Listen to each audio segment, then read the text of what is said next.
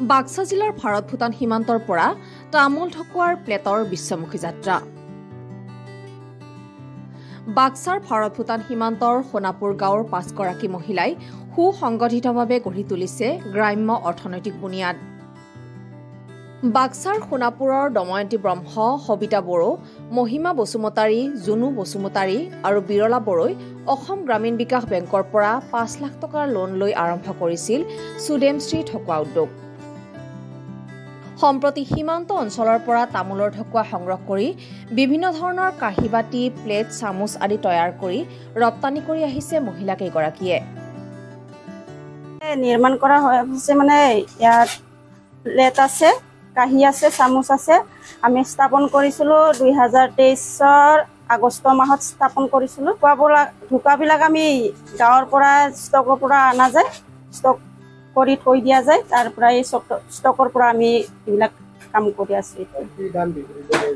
এইবিলাক? আমি কাঁহীটোত আছে চাৰি টকা পঞ্চাছ পইচা প্লেটত আছে দুই টকা আৰু এনে চামুচত আছে দুই টকা তিনিখনত দুই টকা মানে। পাঁচজনীকে আছে। কেনে মনত কেনে আহিল যে ঢকুৱাৰ পৰা আপোনালোকে এই ধৰণৰ বাচন বৰ্তন নিৰ্মাণ কৰে? এনে মানে প্ৰথমতে আমাক বাইদেৱে আহি জনালে যে আপোনালোকে মেচিনটো লৈ লওক মেচিনটো লৈ পিনে চাই কেনেকুৱা লাগে পিছলৈ আগলৈ পিছত গম পাব ঠিক তেনেকুৱা এনেকুৱা কোৱাত আমি আমি গোটেইকেইজনী বাইদেৱে পাঁচজনী বাইদেৱে মানে আলোচনা কৰিলোঁ আলোচনা কৰি এইখিনি কাম কৰিম বুলি আগবাঢ়ি বাহিৰত চাপ্লাই দিছিলোঁ। বৰপেটাতে তেওঁলোকে লৈ গৈছিলে। এতিয়া এই বাচন বৰ্তনবিলাক বৰপেটাত বৰপেটাতে পঠোৱা হয়। ইনকামটো এতিয়াতো বৰ্তমান ঠিকেই চলি আছে ভালেই চলি আছে। মাহত থাৰ্টি নহ'লে ফৰ্টিন থাউজেণ্ড তেনেকুৱা পোৱা যায় আৰু। কিমান মান উৎপাদন কৰে আপোনালোকে? আমি দিনত চাৰি ঘণ্টাকৈ এজনত চাৰি ঘণ্টাকৈ হয়। চাৰি ঘণ্টাত মানে কিছুমান সময়ত মানে কাৰেণ্টৰ প্ৰব্লেম দিয়ে কাৰেণ্টৰ প্ৰব্লেম নহ'লে মানে বহুত এই এশলৈকে হয় আৰু এই কাঁহীখিনি।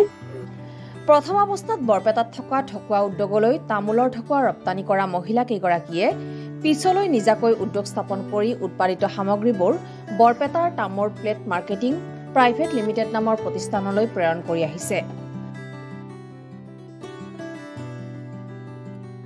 অনাদৃত তামোল ঠকুৱাৰ পৰা মহিলাকেইগৰাকীয়ে মাহেকত উপাৰ্জন কৰিছে লক্ষাধিক টকা।